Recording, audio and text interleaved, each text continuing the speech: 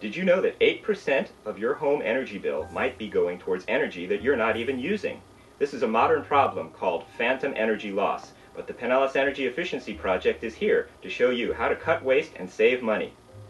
You know, in most of our homes these days, you can get up in the middle of the night and walk through the living room and not even have to turn the lights on, because you see all these little glowing lights in the darkness. Could be your television, DVD player, cable box, phone charger, microwave oven, all these little gadgets that are quietly sucking up electricity. Some people call them energy vampires. You know, some people can remember back in the day when television sets used to take a minute to warm up when you first turned them on. These days, people don't like to wait for anything, so most electronics are manufactured so that they go into a standby mode when they are turned off. This means that a little bit of electricity is running through them, keeping them warm, so when you press the on button, they come on right away. A lot of electronics have these little black boxes attached to them that you plug into the wall, a transformer.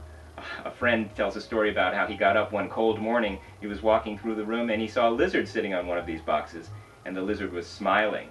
And you know why? Because these are warm when you have them plugged in. Even if there's no device attached to them, these things can be using up electricity.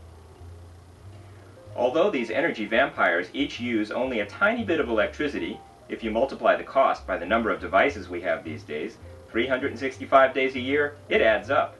The University of Florida studies estimate that phantom energy accounts for up to 8% of the average Florida home electric bill. That means that you could be paying $44 per month just for phantom energy. One way to cut down on phantom energy is to plug all of your related devices into a single power strip. You could plug in your computer, your monitor, your printer, scanner, your speakers all into one strip. That way when you're done using them, you can turn them all off with just one switch. Surge protectors are also good for protecting your equipment against power surges. They come with different levels of protection and warranties. An even easier way to go is with the new Smart Strip.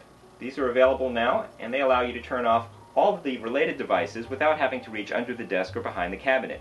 Smart Strips are manufactured by a number of companies, but they usually look pretty similar to this one.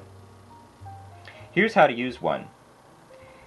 This is called the control outlet. The device that gets plugged in here is called the control device, because the other devices will be on or off depending on whether or not the control device is on. So let's say you plug in your television set here, and then you could plug in your DVD player, your gaming device, your speaker system into these other outlets. Now, when you turn your television set off, even using your remote control, the smart strip senses that the power has dropped to that device and automatically cuts off the power to the other devices. You obviously won't need them while the TV is off.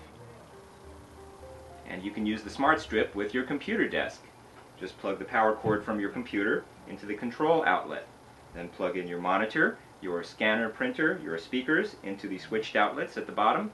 Now when your computer is turned off or goes into sleep mode, the smart strip senses that the power has dropped and automatically cuts off the power to the peripherals. When you turn the computer back on, then the peripherals will come back on. If you have devices which need to stay on all day, like a clock or cable TV box, you can plug those into the constant outlets which always stay on. The amount that you save on your home energy bill will depend on your usage patterns, but a smart strip could quite possibly pay for itself in just a few months. These are available at your larger hardware stores and department stores. As I said, they come from different manufacturers and have different models. Some of them have more outlets, some of them have fax modem protection built in, and some of them even have a timer. When you do buy your smart strip, make sure you look for the label that shows certification that it has been safety tested by a recognized organization. Try to find the one that meets your needs.